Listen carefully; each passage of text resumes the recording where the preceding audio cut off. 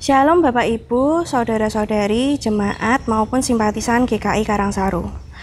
Puji Tuhan pada hari ini kita boleh kembali belajar dan merenungkan firman Tuhan melalui hikmat pagi kali ini. Sebelumnya, mari kita awali dengan berdoa. Bapa, kembali kami datang ke hadiratmu mengucap syukur atas kasihmu dan anugerahmu kepada kami pada hari ini.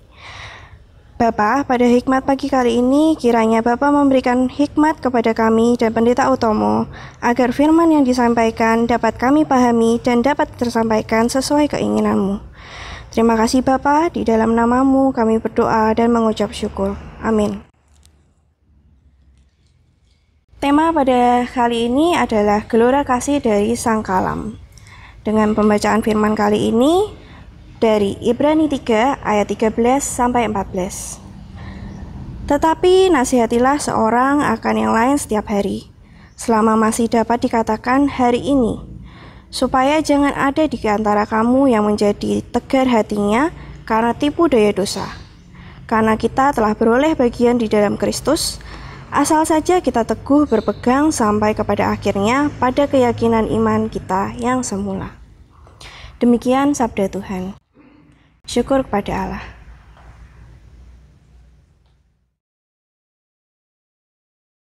Selamat pagi Bapak Ibu Saudara yang dikasih Tuhan. Komunitas adalah salah satu anugerah yang Tuhan berikan kepada orang percaya. Tuhan memakai komunitas untuk menjadi sarana bagi kita semua untuk dapat saling bertumbuh dalam Kristus dan saling menguatkan dalam iman kepada Kristus sampai akhir.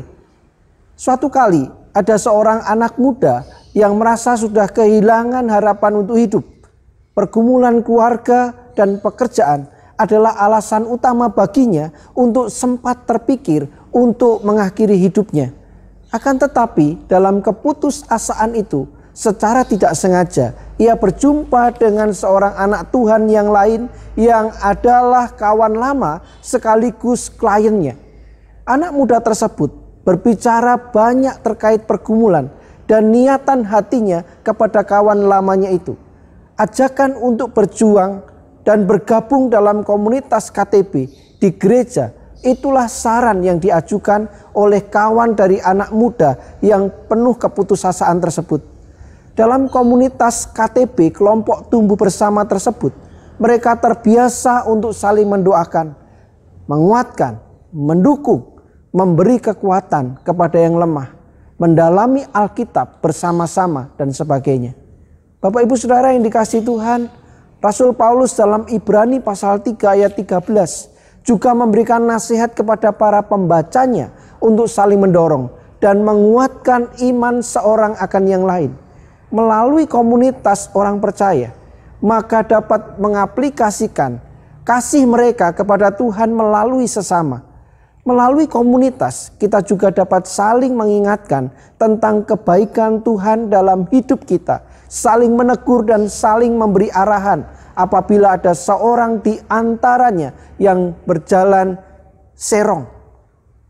Tantangan zaman, pergumulan, dosa sering kali memperdaya kita dan membuat iman kita lemah dan menjauh dari Tuhan.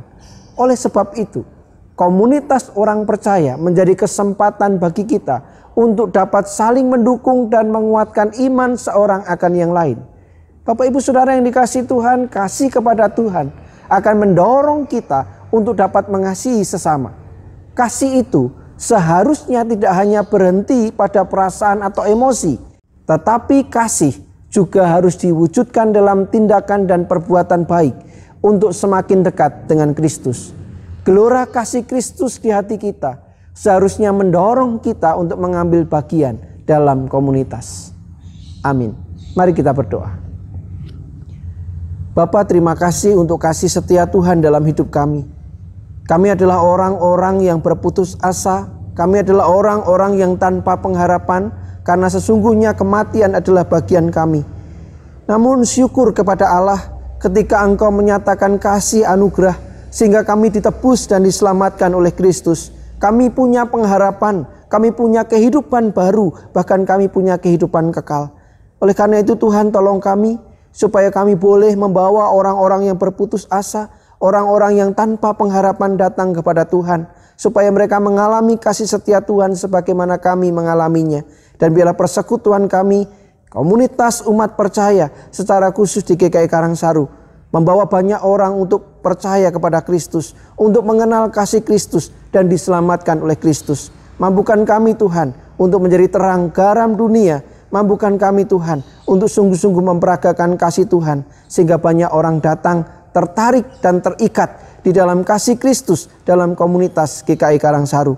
Di dalam nama Yesus kami berdoa. Amin. Ya, selamat pagi Aime. Selamat pagi Kohut. Ya, pertama kali di Hikmat Pagi perasaannya gimana ini? nih? Uh, deg-degan. Deg-degan ya. Tidak hanya kamu ya. Yang pertama kali memang deg-degan ya. Iya. Nah, Aime kita kita bicara tentang gelora kasih sang kalam ya. Kasih Tuhan kepada kita. Ada enggak pesan ketika kita ini ada di dalam persekutuan? Seperti apa sih semestinya? Ya, semestinya ini ya. Karena Tuhan sudah memberikan kasih kepada kita, kita harus menjalankan kasih itu. Dan kita harus menjalankannya seperti Tuhan Yesus. Dalam pelayanan, dalam setiap uh, keseharian kita, kita harus menjalankan kasih melalui saudara-saudara kita ke orang-orang sekitar kita. Kalau persekutuan tetap rajin gitu ya? Iya, tetap, tetap semangat rajin, gitu tetap ya? semangat. Asik, terima kasih Aime. Iya. Bapak Ibu Saudara, biarlah kita terus tekun di dalam komunitas, tekun di dalam persekutuan kita bersama umat Tuhan dan kita memperagakan kasih sang kalam dalam kehidupan kita. Selamat berkarya hari ini, jaga kesehatan. Mari kita terapkan protokol kesehatan, pakai masker, jaga jarak di tengah kerumunan, cuci tangan bersih dengan sabun. Dan jangan lupa kalau memang kita saatnya vaksinasi, ayo kita vaksinasi. Tuhan memberkati.